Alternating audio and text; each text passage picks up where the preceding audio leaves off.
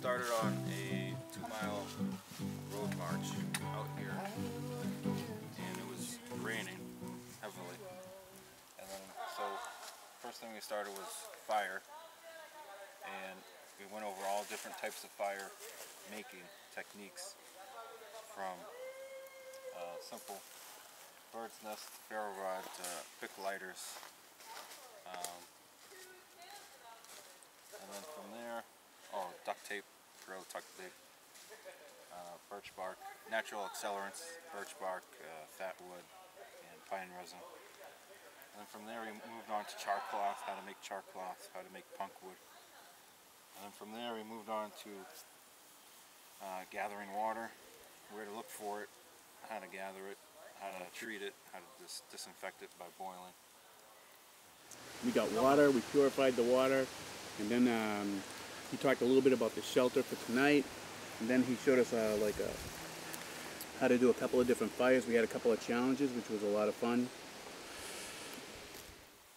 And then we did some stone boiling in the dry bag, heavy duty dry bag. And then we set up shelters.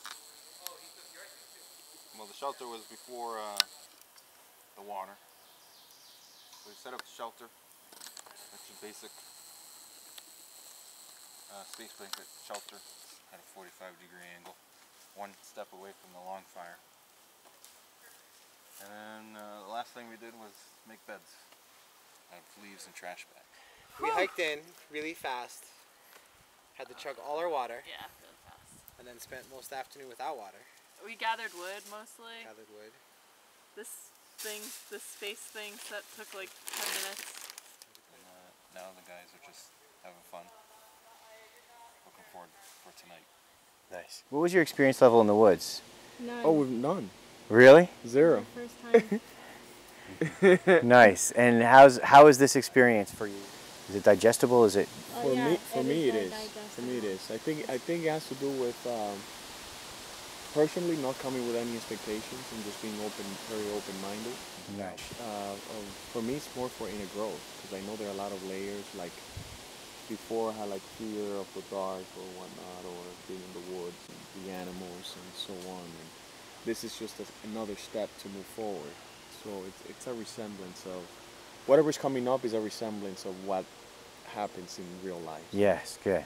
So Very Yeah. So I- practical too, you know. There are a lot of learning. I, I made a fire today for the first time. For the first time? yeah. mhm, yeah. Nice. Yeah. my water bottle. Did you use a match or did you use a ferro rod or what did you start? We used a ferro rod and we learned how to use the mini inferno. Uh-huh. Inferno. Mhm. Um, a lot of good information that will help anybody that's out in the wilderness Mhm. without experience. Like I can, I know how to gather. Um, what the heck is it called? Tinder. Mhm.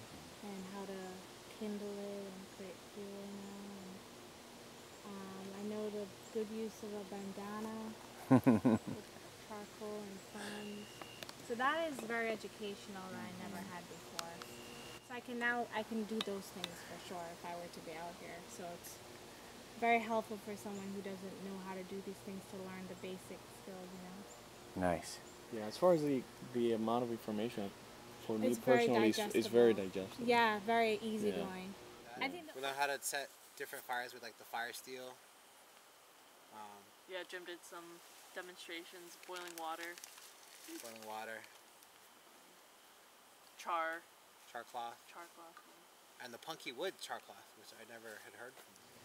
Compared to last night when you arrived, would you say your comfort level in the woods is the same? No, it's oh different. Way, way different. Way different. Yeah, I we're breaking her feel slowly. She's Slow. got mud on her shoes already. I Yes. know. I, I Sturdy sat on the knees. floor before I, I had the I had a, this on my buttocks to protect me, but Right. then I'm now sitting on it. So Nice. It's definitely better. Yeah, she's doing great because she had a big, huge fear of, of the dark, Oh, just animals, the woods, everything. everything. Oh. Yeah. And I think it's been all been good. I mean, like, I think the fire when we first started making them. yeah, Speaking of or just boiling the water too. Yeah.